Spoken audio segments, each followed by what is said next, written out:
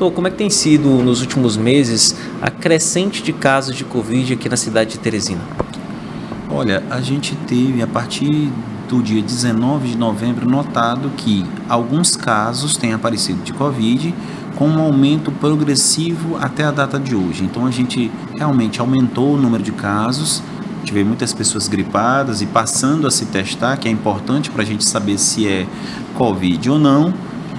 E tivemos né, esse aumento exponencial do número de casos na cidade de Teresina. Obviamente que é, esses casos são, em sua absoluta maioria, casos leves, em que o paciente tem febre, coriza, nada muito diferente de uma gripe ou de um resfriado comum.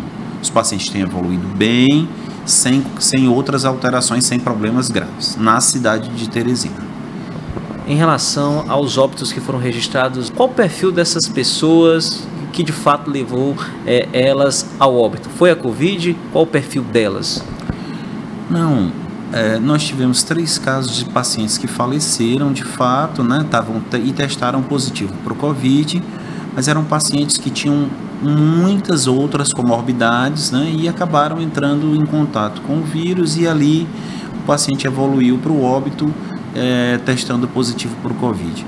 A gente sabe que pode ter sido casos, realmente, a maioria dos casos é leve, mas em pacientes por exemplo, que tem já uma doença terminal ou que já tem um, histórico de, é, de outras doenças, de outras complicações, o Covid pode ali ter contribuído de alguma maneira para o óbito desses pacientes. A importância da vacina para esse momento, com essas novas variantes, essa nova crescente? A gente sempre estimula a vacinar porque é uma maneira a mais que você tem de é, adquirir defesas contra a Covid-19 em que pese a maioria dos casos, como eu falei aqui, a maioria absoluta dos casos, e a gente não tem nenhum óbito na cidade de Teresina, mas é necessário que a gente faça a vacinação para a gente adquirir nossas defesas contra as cepas ou que estão circulantes ou que circularam, para que depois não volte a adoecer, porque a gente sabe que nunca é bom adoecer, especialmente numa doença que dá para gente é, que dá para a gente ter a vacina, que pode melhorar inclusive o desfecho desses pacientes. Então, o paciente toma a vacina e não deixa de adoecer, mas o desfecho dele quando adoece é certamente mais favorável. Ou seja, o paciente tem menos chances de evoluir com os casos graves.